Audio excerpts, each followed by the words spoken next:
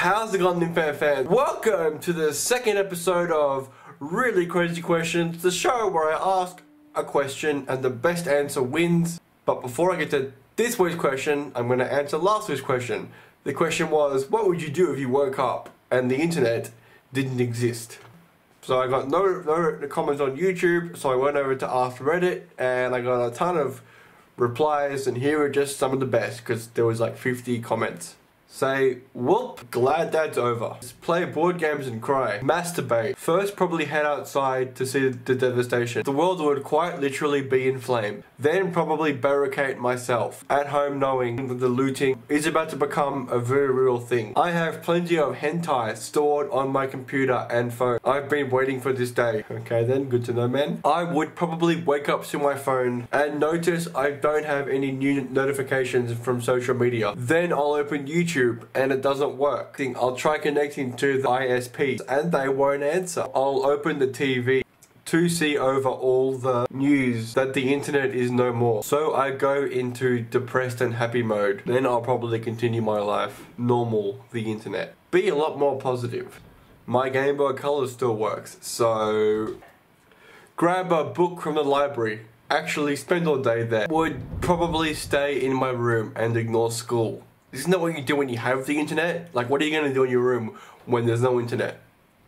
Unless you'd be depressed, then that would make sense. Probably laugh. Be relieved, I'm trying to give up social media. Finally buy that console I've been eyeing, but never had a good reason to get. Sign up for cable before prices surge.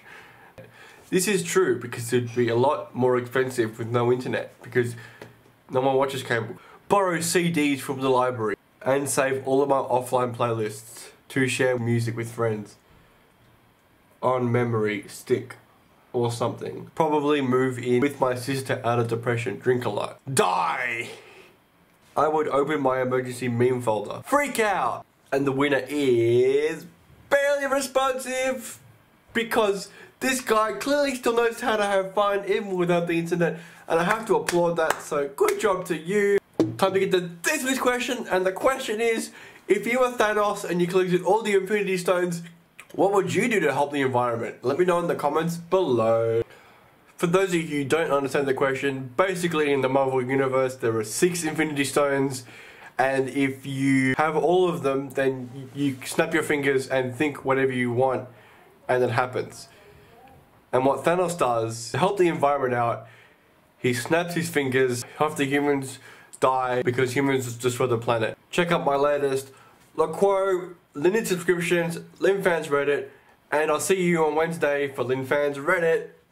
Leave your answers in the comments below, and I'll pick my favorite for the next episode of Really Crazy Questions.